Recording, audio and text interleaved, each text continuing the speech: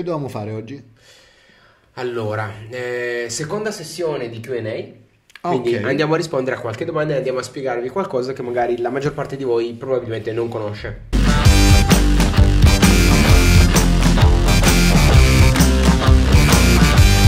Matteo, Fabio due capitani dell'esercito in congedo. e Spaghetti Leadership è il nostro podcast.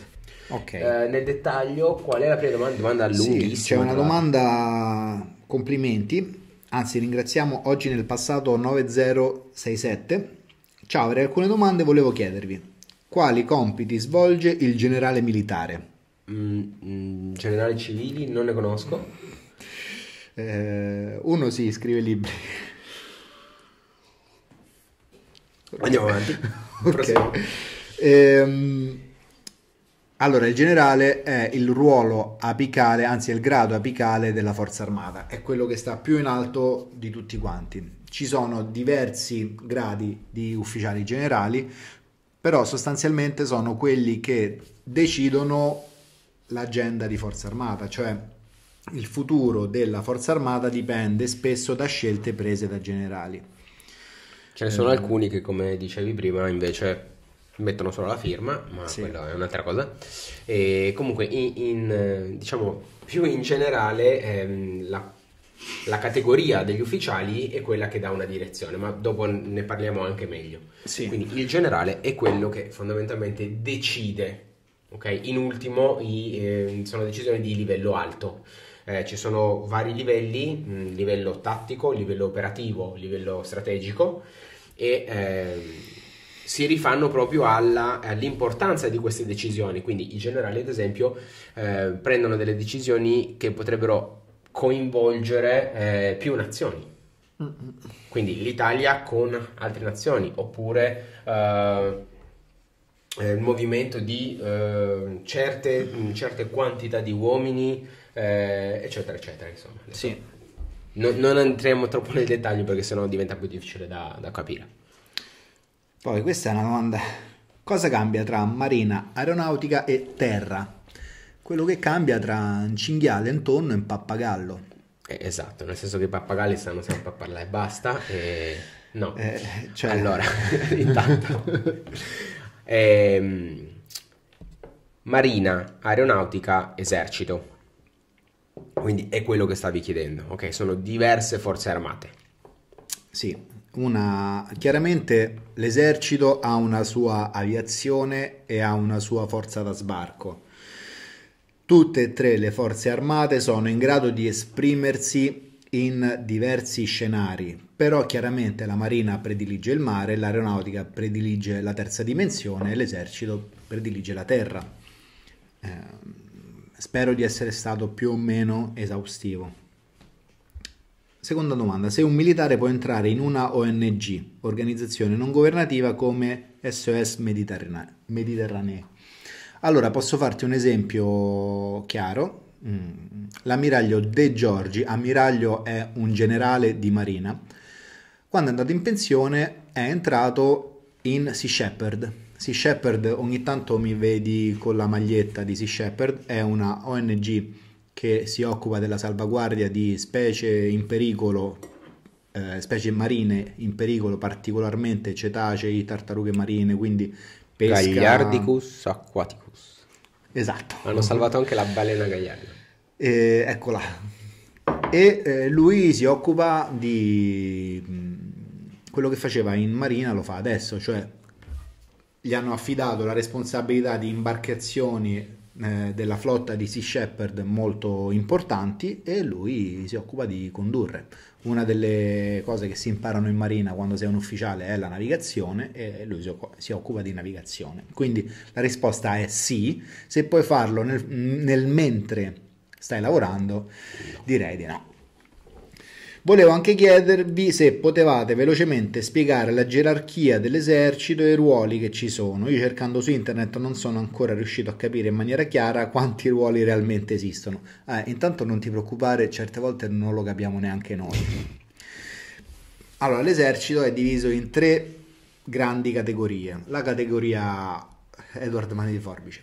La categoria ufficiali, gli ufficiali ricoprono incarichi di comando, quindi comandano. La categoria sottufficiali, quindi eh, loro si occupano di ruoli di coordinamento. Staff, detto anche. La categoria graduati e volontari, loro se lamentano. no, non puoi dire, ma okay, dai, che poi ci okay.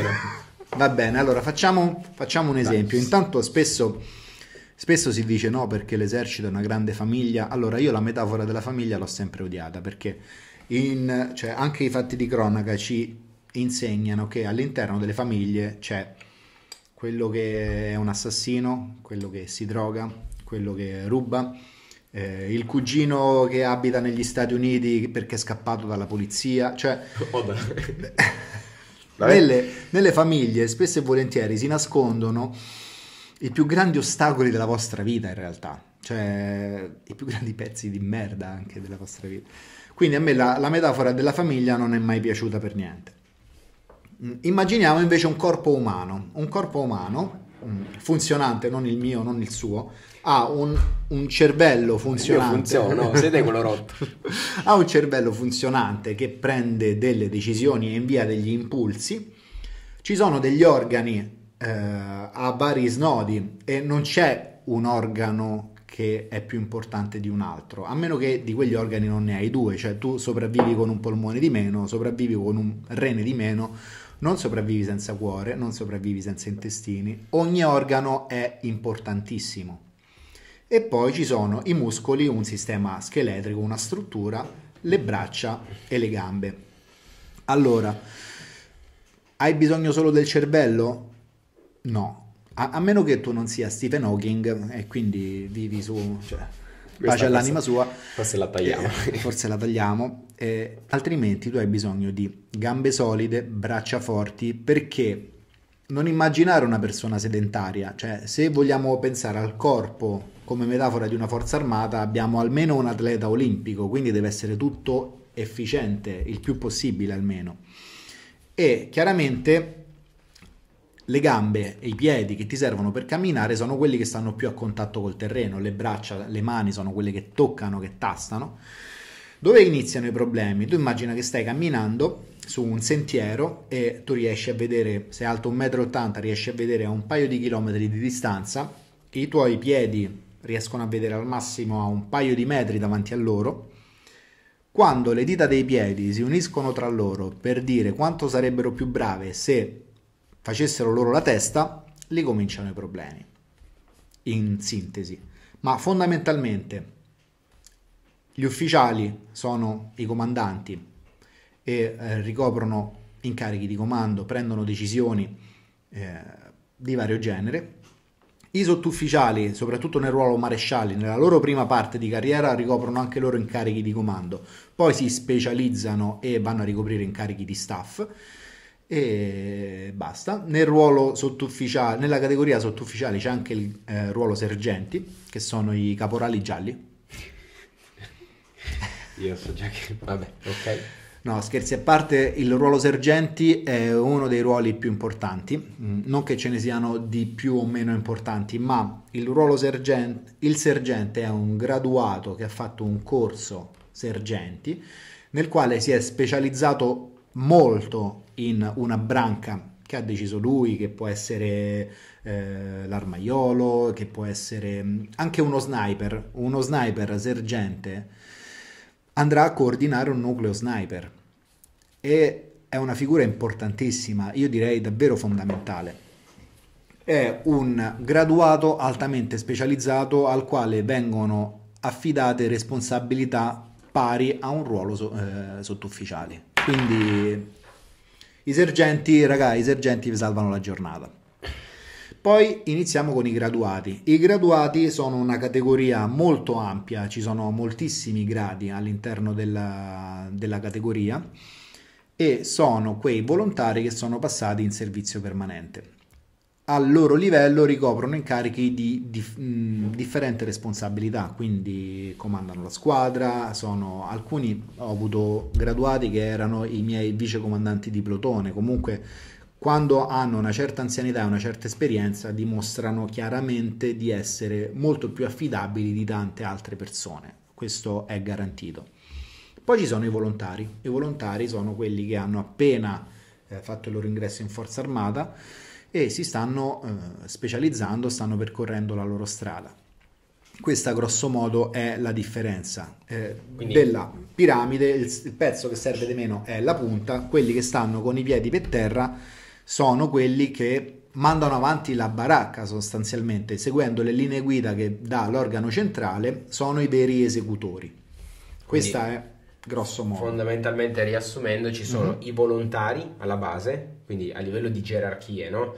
Come è strutturato? Volontari graduati, quindi UFI, eh, gli ex UFP1, UFP4, Quattro. eccetera, eccetera. Poi si passa a graduati, quindi da caporale passi a caporal maggiore, caporal maggiore capo, caporal, eh, Eh, maggiore adesso si capo, chiamano via. primo graduato, Perfetto. graduato capo, graduato aiutante, comunque Gli ex, allora... 50 sfumature di caporale. Ok, quindi ci sono vari livelli, vari, vari gradi, sempre nella categoria dei graduati. Poi dopo c'è ehm, sopra la categoria dei sottufficiali, sergenti e eh, Marescialli. marescialli.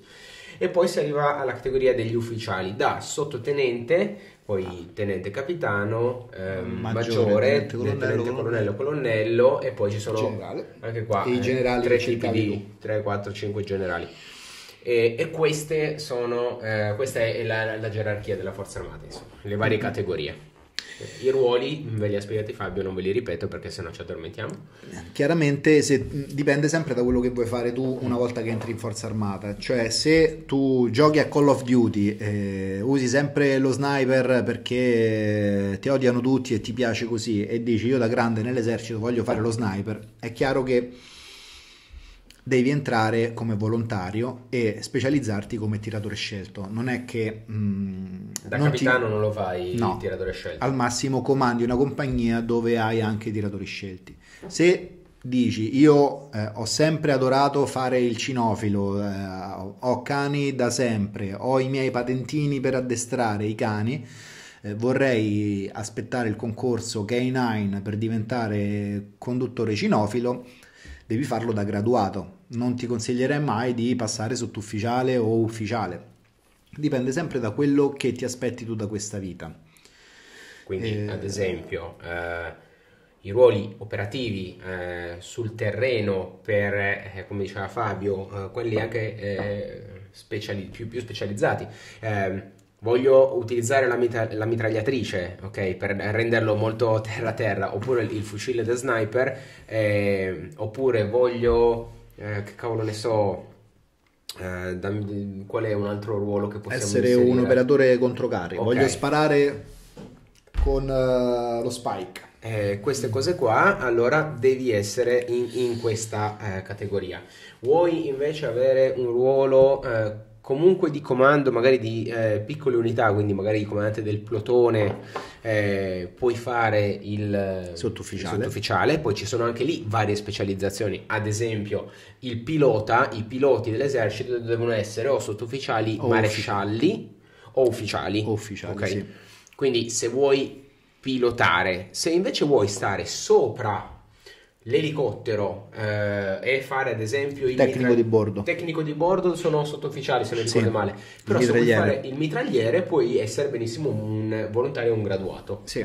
quindi eh, dipende veramente che cosa vuoi fare. Se vuoi invece comandare principalmente, che all'inizio è un comando che fai sul terreno, perché i comandanti, quindi i- gli ufficiali da tenenti e da capitani, comandano i plotoni, poi comandano le compagnie e quindi hai del- delle persone che, eh, a cui dici cosa fare, a cui comunque... eh, con cui organizzi le attività anche, ok? Poi dipende dai, dai vari reggimenti in cui, eh, in cui si va, però quando ci sono gli addestramenti, quando ci sono le campagne addestrative e così via, eh, comunque il tenente è quello che poi è lì e dice ai vari protoni, alle varie squadre eh, cosa devono fare e li coordina, ok? Mhm. Vanno in movimento e così via. E, eh, quindi e questa è un po' la- anche la La differenza. differenza. Poi, prossima domanda. Ci sono molte differenze tra Accademia Militare di Modena, quella di Livorno e quella di Pozzuoli. eh, torniamo alla primissima domanda. Allora, intanto eh, Modena, Livorno e Pozzuoli sono le tre accademie delle forze armate, cioè Modena c'è l'Accademia dell'Esercito e dei Carabinieri per i primi due anni, eh, a Livorno c'è l'Accademia Navale per la Marina e a Pozzuoli c'è mh, l'Accademia dell'Aeronautica. Poi, e queste sono le accademie, perché poi ci sono le scuole militari, quelle dove il giovane finisce i tre anni del liceo, gli ultimi tre anni del liceo. ginnasio eh, dei eh, primi due anni, gli altri tre puoi entrare in una delle scuole, no? Sì, che sono, e sono la, eh, il Morosini per la Marina, ah, Venezia, la, sì. Sì, la 2 per l'aeronautica, eh, Teulier, la Teulier e la Nunziatella per l'esercito.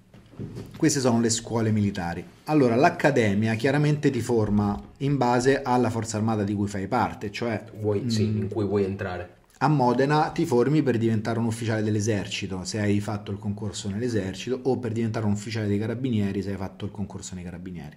A Pozzuoli eh, impari a fare l'ufficiale dell'aeronautica, poi anche lì ad ogni, mh, mm, ogni, aerona- ogni forza armata ha le sue specializzazioni. Nell'esercito ci sono le varie armi, i corpi tecnici, eh, differenti realtà nelle quali tu entri. Vale lo stesso in aeronautica. Tu non è che eh, se entri in aeronautica diventi per forza un pilota. Come in marina, se diventi un ufficiale di marina, non è detto che tu comandi per forza un'imbarcazione, una, si chiamano imbarcazioni? Una nave, non lo so. No, se volevo fare marinaio andavo a fare... A fare marina. e non pensate eh, che avrete i vostri Ray-Ban e il vostro brevetto con scritto Pete Mitchell, Top Gun e porterete per forza... Cioè, eh, perché vi ricordo qua tutti è, ma Maverick è di Marina, non è dell'aeronautica, per eh, così. Però... no, eh, scherzi a parte, ci siamo, non abbiamo mm, parlato dei carabinieri, cioè facciamo esatto. anche un intro veloce su quello, visto che si parlava di forze armate, no? Esatto. Diverse forze armate, abbiamo detto eh, esercito, aeronautica, marina. E carabinieri, sono la quarta forza armata, i carabinieri è un esercito che ce l'ha fatta. Cioè... e che però non può essere inserito come esercito da dopo la seconda guerra mondiale e continuano a pagare delle mega multe. Vabbè, quella è un'altra storia ancora. Eh, sono la quarta forza armata, si occupano sia di, fanno capo sia al, al, Ministero dell'Interno che al Ministero della Difesa, hanno incarichi di Militar Police, quindi polizia militare all'estero e eh, il servizio territoriale mh, che svolgono in Italia. Eh, devo dire che si vestono molto meglio di noi e hanno però viaggiano sempre in due, di solito viaggiano sempre in due.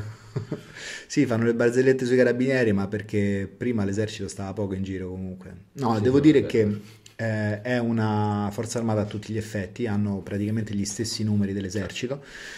E, è una realtà che merita tutto eh, rispetto. Sì, Se un giorno voleste diventare dei carabinieri, non, eh, non avrei nulla in contrario. Anzi. Ma come carabinieri o altri forze arma- forzi, sì, sì, armate, corpi armati esatto. dello Stato, che ne so, la polizia, la guardia di finanza, la polizia esatto. penitenziaria, cioè qui non si esclude nessuno. Il discorso è sempre: non partite da chi vi si prende, cioè non fate tutti i concorsi e qualcuno mi si prenderà. Cioè, voi che cosa volete fare? E poi prendete una decisione e dite oh io voglio da grande voglio fare questo. E poi eh, cercate di fare quello. Poi differenza tra generale e ufficiale. Mm-hmm. il generale è un ufficiale cioè è un, un ufficiale apicale. Nel, nella, nella, forza armata di marina si chiamano ammiragli ma sono i gradi apicali delle forze armate. Il ruolo dello stratega. Uh, Hunger Games cosa sì, Hunger Games. Allora, tu immagina tutti i film dove c'è una crisi e il presidente risponde subito, no? Parliamo del presidente degli Stati Uniti, ovviamente, e ci stanno questi tavoloni dove ci sono eh, quelli vestiti in borghese e quelli in, in divisa. Quelli in divisa sono dei generali di solito. Sono okay. quasi sempre dei generali e ce n'è quasi sempre in tutti i film uno scemo che deve dire usiamo l'arma atomica perché non c'è soluzione. Poi alla fine la, la situazione viene risolta da un tizio in civile che aveva fatto il militare anni prima con un paio di forbicine con la, con la punta arrotondata. Oppure e... chiamano John Wick. Oppure chiamano John Wick, sì. Quindi lo stratega non esiste, cioè è proprio una figura che, che viene utilizzata magari nei libri, nei film, eccetera. Però eh, in realtà spesso no, combacia con un generale che ha dei ruoli eh, all'interno, in questo caso dell'ambito politico, e quindi consiglia, Consiglia. dirige le operazioni, ok? Quindi sì, utilizza la strategia militare perché è, è a comando e ha quindi la responsabilità. Il buon generale che aveva, mh, sono io faccio delle gaffe devastanti, figliuolo, Sì, che quello a cui è stata affidata la gestione del Covid, che era il fatto- comandante di Comlog Esatto, e in poi quel caso lì è stato affidato lui, ha fatto tra virgolette la parte dello stratega per riuscire a dare una mano sulla eh, per la gestione delle somministrazioni, eccetera, eccetera. sì. Ok? Quindi questa piccola parentesi è chiusa, aperta chiusa, non vogliamo commenti su, queste, su tutto quello che esula, ok? L'ambito militare e bannerò tutti, non me ne frega un cazzo perché noi parliamo solo dell'ambito militare. Siamo molto poco democratici in questo, sappiatelo. E eh, abbiamo risposto a tutto, apprezzo molto i vostri video, state facendo un bellissimo lavoro, grazie in anticipo, buona giornata. Prego. Ehm, allora, fai pensare. Ah, sì. Mentre ci siamo, affrontiamo anche un altro discorso, che è quello ehm, delle eh, varie armi, Mm. delle varie armi dell'esercito e delle specialità dell'esercito. Minchia che botta. Non andiamo troppo nel dettaglio, magari facciamo poi una puntata proprio nell'iper dettaglio, ma adesso diamo almeno un'infarinatura. Esatto, Mm. va bene. Allora, eh, sperando di non fare gaff e se ci dimentichiamo qualche pezzettino, eh, chiediamo già scusa in anticipo, eh, vedremo poi di correggere il tiro, ok? Anche perché non è che ci rimettiamo a studiare da capo tutto. No, eh, sì, sono guarito. però in generale, allora, eh, come funziona l'esercito? L'esercito ha eh, delle armi differenti, si chiamano, ok? Ossia, eh, sono i, i vari gruppi all'interno dell'esercito che hanno dei ruoli differenti.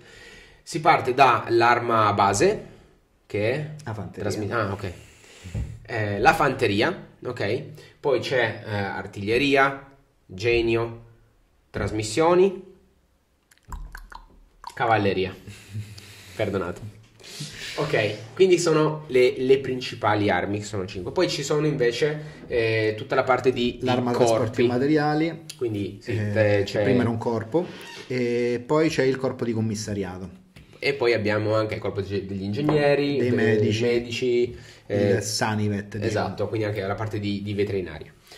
E, e questi, so- queste sono le, le armi principali. ok? Ok. Poi all'interno delle varie armi ci sono delle specialità. Che Mm. cosa vuol dire? Come eh, ha ehm, in maniera eccellente spiegato Fabio l'altra volta nel- in, una- in un video che è uscito a metà settimana, eh, all'interno, ad esempio, dell'arma di fanteria ci sono 5 specialità.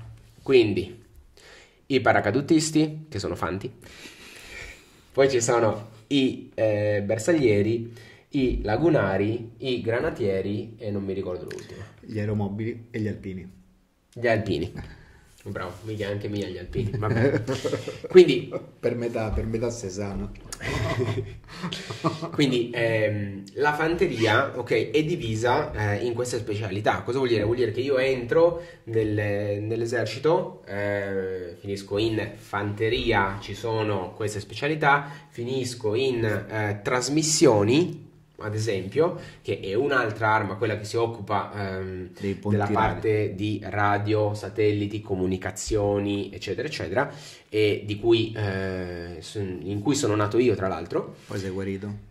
Ma mi piace quella parte un po' nerd. E, ad esempio, all'interno delle trasmissioni ci sono trasmissioni paracadutiste, trasmissioni alpine, eh, eh, guerra elettronica, eh, ci sono anche lì delle specialità, ok? Quindi ogni arma ha le sue specialità. Questo cosa vuol dire? Vuol dire che all'interno poi dell'Italia abbiamo diverse caserme, diversi reggimenti e poi eh, ognuno eh, ha un- una specialità eh, diversa. Propria. ok? Ci sono mh, magari più caserme nel- proprio su, su tutto il territorio italiano con delle, eh, la stessa specialità, magari. Ad esempio, eh, tu, bersaglieri, quante- quanti, qua- quanti reggimenti dei bersaglieri eh, ci sono? s- Allora c'è il primo a Cosenza, il terzo a Cagliari, il sesto a Trapani, il settimo a Altamura, l'ottavo a Caserta e l'undicesimo a Orcenico. Quindi capite che, eh, ok, arma, fanteria, quindi sono, come dicevamo, quelli che sono sul terreno che ravanano. Sì, esatto, un po' ehm, facendo dei paragoni anche nei film, sono quelli che vanno all'assalto, no? Quelli col fucile, sì. E col fucile. All'interno dell'arma di fanteria ci sono le diverse specialità di cui eh, le abbiamo elencate prima. Prendiamo ad esempio la specialità dei bersaglieri, ci sono X reggimenti di bersaglieri, fanno tutti la stessa cosa, ok? E, ehm, e sono sparsi per l'Italia. Quindi sì. questo è un pochino l'organizzazione. Poi, proprio... sì, così. Poi c'è l'arma di cavalleria, per esempio. L'arma di cavalleria si divide, si divide in due grandi specialità che sono la cavalleria di linea e la mh, mm, mm. parte carristi. Quindi i, i cavalieri di linea mh, mm, operano principalmente con unità pesanti su Centauro. La Blindo Centauro, Centauro è una una specie di carro armato blindato su ruote, Mm-mm. ok? Sì. Potete andare a cercarvi qualche immagine. Bellissima, tra l'altro, quando spara si sente. E i carristi si muovono sull'ariete, su, fondamentalmente, su quindi su quelli, cingolo. Quelli che funzionano. Su unità, quelli che funzionano. Eh, vabbè, sì. Eh, però si sta provvedendo anche, mh, ci sono aziende che diciamo no, non si sa mai bene chi lavora per chi, c'è questa azienda che ogni tanto sviluppa, sviluppa nuovi sistemi d'arma. Oh, e, e, e, il PZH invece? E il PZH è un pezzo di artiglieria, mh, il PZH 2000, che eh, l'artiglieria ci offre grandi emozioni, tra l'altro qualcuno l'abbiamo mandato in Ucraina. Eh, non lo dovevo dire. Lasciamo e... Mamma mia. Vabbè, allora, eh, praticamente, quindi fun- com- come funziona? La fanteria è quella che assalta, le trasmissioni sono quelli che garantiscono i collegamenti, di solito. Eh, la cavalleria è quella che si può muovere più velocemente, di solito in, ehm, sono, sono, quelli che prendiamo l'esempio più, più, facile delle battaglie di una volta, no? l'Alessandro Magno della situazione aveva la fanteria, la cavalleria che è quella che con i cavalli poteva muoversi più veloce per, per, aggirare esatto le, le linee nemiche, poi abbiamo l'artiglieria che è quella che spara da dietro, i mortai, eh, a lungo raggio. I semoventi, i semotrenta. Que- quelle cose che, esatto, quelle cose che sparano da dietro, superano, da, quindi dalle linee amiche spesso, no? sparano nelle linee nemiche, la questione dei missili a lungo raggio, queste cose qua. E, um, il genio perso. si il occupa genio, di okay. sia costruire la parte fortificazione, sia costruire, noi non dovremmo farlo, però anche la posa delle mine è un incarico da geniere e l'ingresso attraverso campi minati esatto. è sempre quello che si chiama breaching, è sempre un'attività eh, del, del, genio. genio. La costruzione delle basi, eh, la parte in cui quando si va in missione si crea una cooperazione con eh, il paese ospitante. Eh, la costruzione di un sacco di robe in generale. reti fognarie, fa tutto il genio. Cioè, se non ci fosse il genio, raga, vabbè, mm, come quello che diciamo prima, tutti servono. Tutti servono la parte logistica adibita all'arma trasporti e materiali. Eh... Abbiamo, detto, abbiamo detto sì, Tramat è anche commissariato. Sì, Quindi, commissariato. esatto, trasporti e materiali eh, si occupano appunto di tutta quella che è la eh, logistica. Quindi eh, di... Eh, da vestirvi, darvi sì, esatto, da mangiare, perfetto, mettere perfetto. a posto le... Tutto. Tutto tutto, tutto. Quindi anche tutti i mezzi. Poi c'è la parte di amministrazione e commissariato, eh, che adesso è solo commissariato. Adesso è solo commissariato, sì. Eh, che si occupa della, delle pratiche amministrative, insomma. E poi abbiamo la parte del corpo degli ingegneri che eh, sviluppano cose. Lavorano in concorso anche con eh, le industrie civili, quelle che cercano di riportare l'industria civile a, all'esigenza di forza armata perché come dicevo prima spesso non si capisce chi lavori per chi c'è un'azienda in particolare e poi abbiamo nome, è una tartaruga ninja e poi abbiamo eh, mm. vabbè, la parte dei medici, i corpi sanitari e, e la parte veterinari, sia per il controllo degli animali eh, che, che, abbiamo in forza armata, sia per gli alimenti. Sì.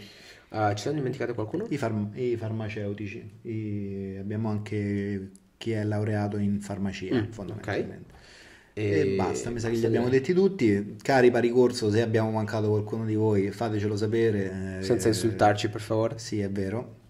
Tanto e... il nostro numero ce l'avete, quindi ci mandate un messaggino dice guarda avete dato una cagata così facciamo un altro video di scuse. esatto, tanto... e, e, e, aggiustiamo il tiro. Comunque, ehm, ok, altre domande? Mm, Così no. abbiamo anche nel mentre fatto un- una spiegazione un po' più completa, visto che ci è stata chiesta. C'era un altro che commentava sempre sul discorso dei raccomandati, vabbè, eh, No, basta, abbiamo fatto prego, un video basta, dedicato, prego. Raccomandati non ne posso più, ogni tre un altro che è stato scartato dallo psicologo. Gente, se vi scarta lo psicologo è perché siete squilibrati. No, non è vero, se- non- non è vero.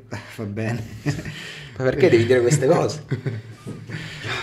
e, e- e- Allora, c'erano delle domande. Mm, mm, mm.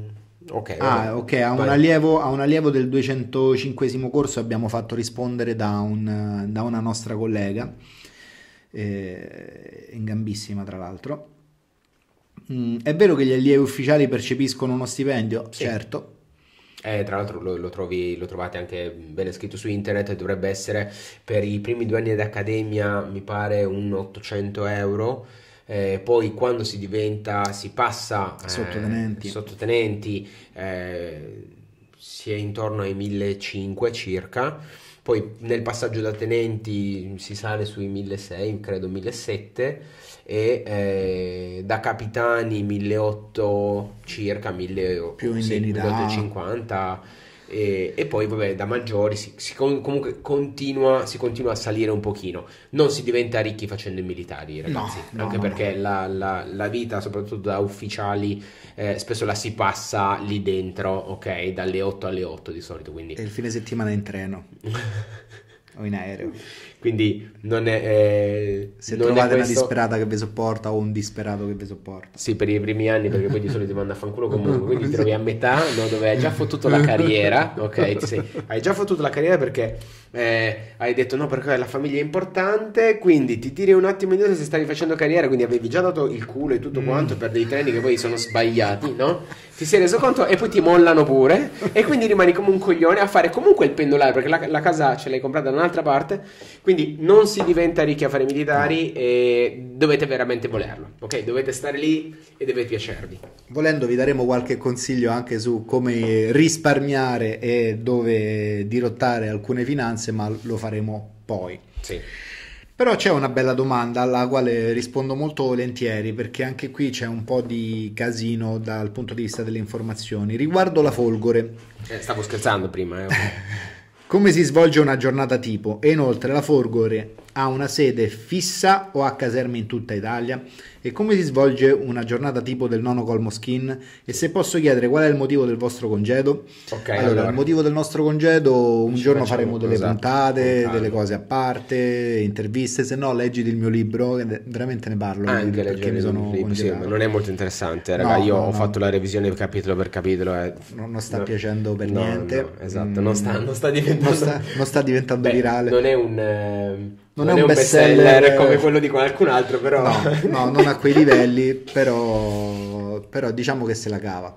Ehm, allora, altra cosa, eh, sì, quello del nono, ne abbiamo già parlato in realtà, ok? Eh, ho anche risposto, mi pare, nei- perché è stato chiesto da più di una persona. Ci sono, eh, per rispondere velocemente, eh, delle dinamiche ehm, che non possono essere orientate solo al eh, singolo giorno, ok? Quindi non, non esiste una giornata tipo, eh, addestramenti, missioni, eh, studio, preparazione, allenamenti. Quindi c'è veramente una, eh, un, insieme eh, di cose da fare in cui non si sta veramente, veramente mai fermi, ok? Ma invece un qualcosa che possiamo approfondire è la Folgore. Che Sì. cos'è la Folgore? Allora, mh, intanto non pensare, siccome sono paracadutisti, che, eh, che ne so, è la scuola dove ha studiato John Wick.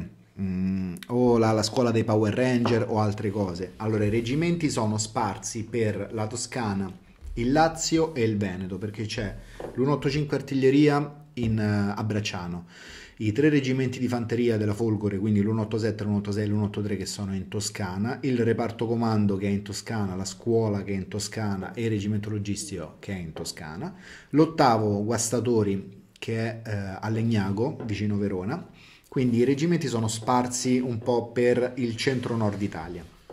La giornata tipo dipende dalla rotazione, cioè se sei in una compagnia che è appena rientrata da un'operazione, che ne so, una missione all'estero o da un turno strade sicure o da qualunque cosa, presumibilmente starai facendo attività di ricondizionamento in guarnigione. Quindi che cosa vuol dire? La vuol giornata dire stai sistemando. Stai, stai, smaltendo la licenza che hai accumulato perché si accumulano licenze.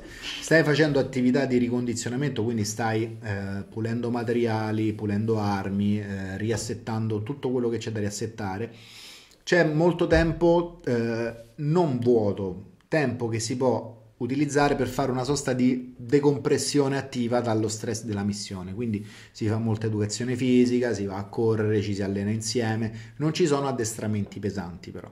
Poi che cosa fasi succede? di studio, ad esempio. Fasi di studio. Cioè, non è che eh, si torna e in quella fase lì non c'è niente da fare. Ci sono tante attività da, da fare a ehm, energia media. Ridotta, sì. Ok? o magari quella, sempre quella compagnia entra in approntamento per un'altra missione che inizierà sei mesi dopo, un anno dopo e si programma tutto un programma addestrativo per eh, rinfrescare alcune cose perché magari tu sei stato in una missione di un certo tipo e vai a fare tutt'altro in un'altra missione. Quindi esempio devi... pratico, nel senso se tu sei rientrato eh, da fare un'attività mh, mm, spostiamoci sul campo sportivo. Sì. Se io per sei mesi sono stato al mare e quindi come che ne so, faccio la sessione da istruttore di sub e sto sei mesi eh, lì, poi mi devo preparare, magari lo faccio da novembre a eh, febbraio-marzo e poi... Eh, no scusa al contrario. Lo faccio da giugno a settembre. Mm-mm. e poi so che a dicembre devo andare a sciare eh, magari da settembre a novembre mi addestro. Quei due mesi prima incomincio a farmi passeggiate in montagna, incomincio a, a, guardare come sono i miei materiali, gli sci, le bacchettine, il caschetto, gli occhialetti, se c'è qualcosa di rotto, incomincio a fare delle prove a utilizzare i materiali per avvicinarmi e prepararmi poi ad andare a fare la stagione di sci. Esatto. Poi quando sei in teatro, quando sei in missione, la giornata tipo dipende dal tipo di missione, chiaramente. Eh, se sei all'estero, mh, mm, presumibilmente, come dicevo in un altro episodio, o sei di pattuglia o non sei di pattuglia, cioè la tua vita è intorno a quello. Poi nei momenti di libertà ci incastri l'allenamento, ci incastri il pranzo, ci incastri il sonno, ci incastri sentire casa e basta. Sì, non è una giornata 8, 16 e 30. No. Eh, ok, però in generale diciamo che... Sì, possiamo... sì, diciamo che ci siamo. Abbiamo detto. Ok, mm. no, direi che per questa possiamo anche, eh, per questa puntata possiamo anche sì, sì. concludere qua se non ci sono altre domande interessanti. Ah, ce n'è una, qual è il percorso per diventare elicotteristi? Io ah, okay. devo sentire eh, un, uh, un nostro ex anziano, anche lui congedato, e chiedergli se un giorno o viene qui o ci colleghiamo mm. in diretta con lui sì. e ne, vi regaliamo un episodio dove si parla solo di aviazione dell'esercito. È un grande, è una persona che stimo un sacco. Così vi facciamo raccontare così, a lui l'iter che, sì. che ha fatto. E eh, niente, ottimo, ottimo. io vi saluto e vi ringrazio. Forza Roma. Grazie.